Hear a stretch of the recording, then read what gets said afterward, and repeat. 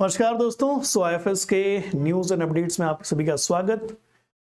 एक और ज़रूरी जानकारी जो अभी अभी फाइनल आंसर की रिलीज़ हुई है वहाँ से।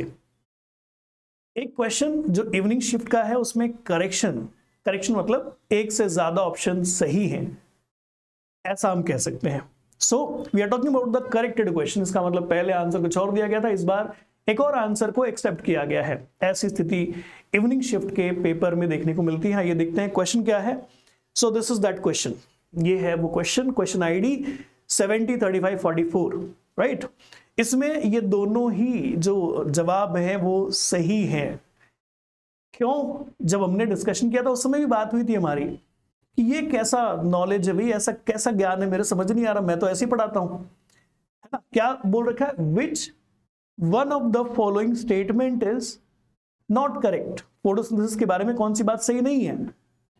Light reaction takes place on thylakoid membrane हाँ सब उसी पे चलता है, सही बात है। एटीपी और एनएडीपीएच दोनों थैलेकॉइड मेम्ब्रेन पर बनते हैं। ये तो बड़ी गड़बड़ सी बात है। अगर आप बात कर रहे हो एटीपी की तो वो भी स्ट्रोमा में बन रहा है। एनएडीपीएच वो भी स्ट्रोमा में बन रहा है। मेम्ब्रेन पर नहीं बन रहा।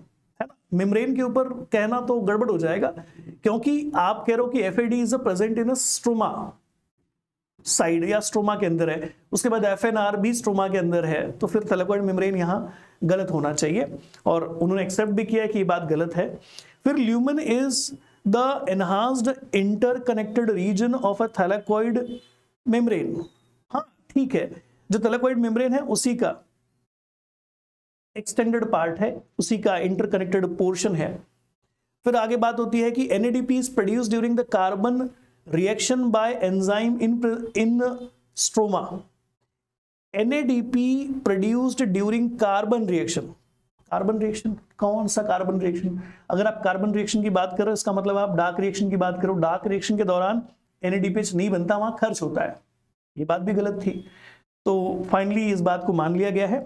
और बहुत अच्छी बात है कि अगर आपने इनमें से कोई भी जवाब दिया है तो आपका जवाब सही है और मार्क्स आपको मिलने वाले हैं। इसके अलावा कोई ऑप्शन अगर आपने सिलेक्ट कर रखा था तो फिर मार्क्स नहीं मिलेंगे। और मार्क्स क्यों मिले? आपका कॉन्सेप्ट ही सही नहीं है ठीक है? So thank you thank you so much happy learning to all my dear students channel पर नए हो तो ऐसे बहुत सारे अपडेट्स आते रहते हैं और सारे लेटेस्ट अपडेट्स सारे यूनिक अपडेट्स यहीं पर मिलेंगे। सो so, चैनल को सब्सक्राइब करके रखिए और बेल आइकन प्रेस करके रखिए।